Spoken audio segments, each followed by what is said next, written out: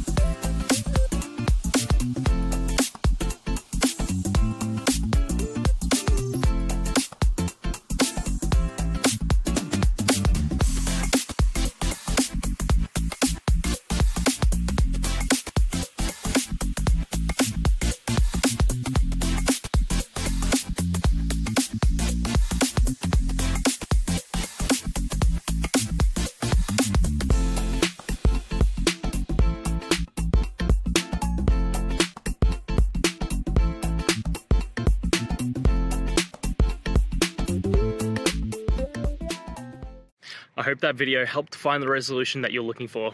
And if it did, please, I'd appreciate it if you could hit subscribe. Until the next time that you need more technical help, I hope you have a great one. See ya.